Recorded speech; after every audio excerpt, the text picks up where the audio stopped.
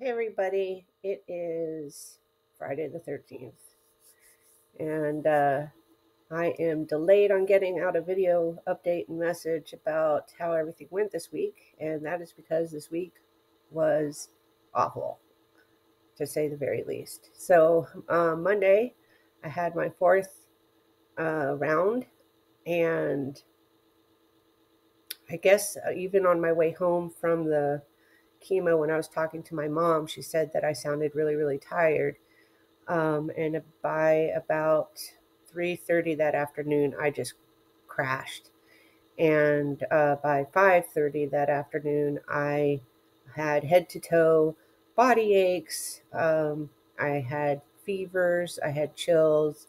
I had sweats. I was uncomfortable.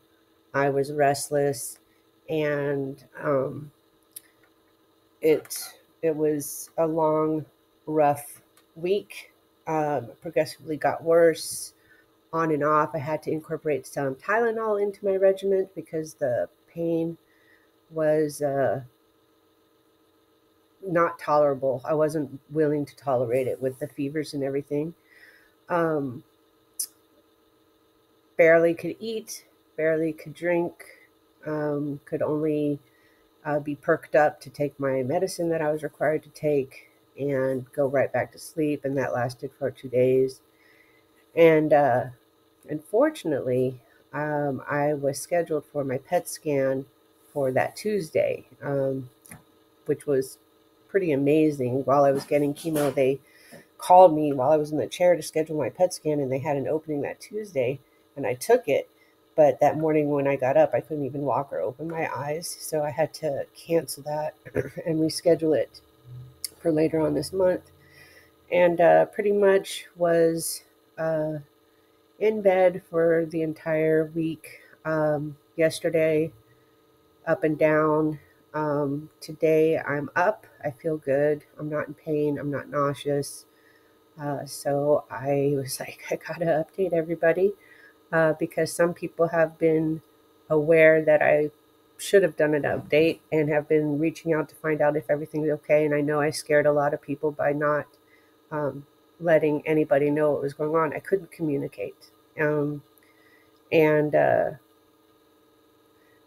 sorry about that. Um, anyway, so uh, the news is that uh, I have my PET scan at the end of the month on the and then I have uh, on the 26th I believe and then I have my start my next round of chemo um, that following Monday and they're going to be removing one of the chemotherapy drugs called carboplatin.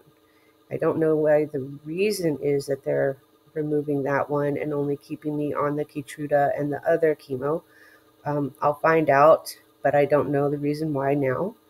Um, and um, anyway, I uh,